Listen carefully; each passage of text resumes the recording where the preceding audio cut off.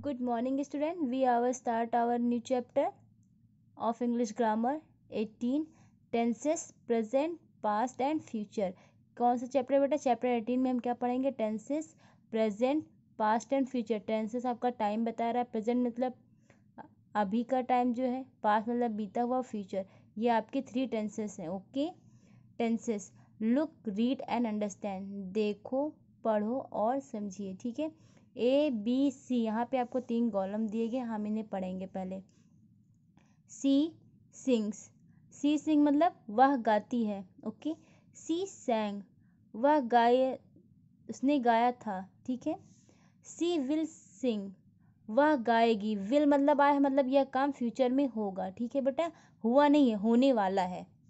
Second Sita tells a story क्या है? Sita story कहेगी। ओके? टेल्स मतलब प्रेजेंट में कह रही है। सीता टोल्ड अ स्टोरी ये आपका टेल्स का पास्ट फॉर्म है। टोल्ड टोल्ड मतलब बीता हुआ, वह कहे थी, ठीक है? Sita will tell a story Sita story कहेगी मतलब आने वाले टाइम में। विल आ गया, इसका मतलब वह आने वाले टाइम पर स्टोरी कहेगी, okay? Third he works hard वह कठिन परिश्रम करता है, ठीक है? ही वर्क्स हार्ड ये क्या है? प्रेजेंट टाइम का हो गया। ही वर्कड हार्ड वह कठिन परिश्रम करता था। वर्कड हो गया ना? ये आपका वर्ड देखिए वर्क्स का पास्ट फॉर्म में वर्कड ईडी लग गया है। तो ये वह कठिन परिश्रम करता था। मतलब वो बीते हुए पास्ट की बात कर रहा है यहाँ पे। ही विल वर्क हार्ड वह परिश्रम करेगा। कठिन परिश्रम करेगा। लेकिन विल आ गया कब? फ्यूचर में करेगा। अभी का नहीं, ठीक है? आने वाले टाइम में वो करेगा, ठीक है? ही विप्स वह रोता है। ओके। ही वेप्ट विप्स का थर्ड सॉरी विप्स का पास्ट है, अब है क्या? ही वेप्ट ठीक है ही वेप्ट मीन्स वह रोया था। ओके। ही विल विप वह रोएगा।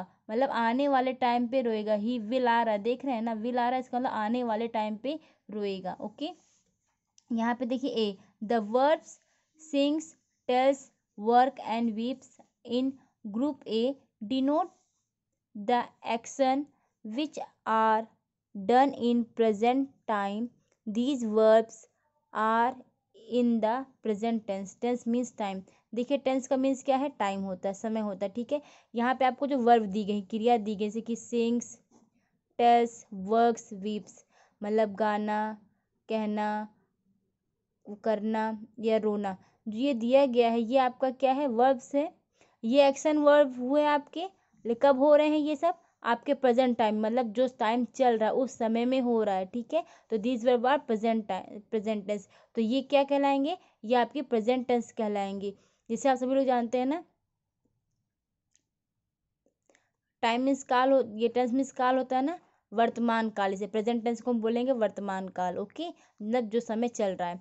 B The verbs sang, told, worked, and wept in a group B denote the actions which were done in the past time. These verbs are in the past tenses ठीक है मतलब ये आपका जो सैंग सैंग होगा told हो गया वर्कड हो गया वेप्ट हो गया तो ये आपका पास्ट टाइम मतलब बीते हुए समय में ये कार्य हुआ है आपका एक्शन हुआ है ठीक है तो these verbs are in the past tense मतलब ये पास्ट टाइम मतलब बीते हुए समय मतलब भूतकाल, इसे हम क्या कहेंगे?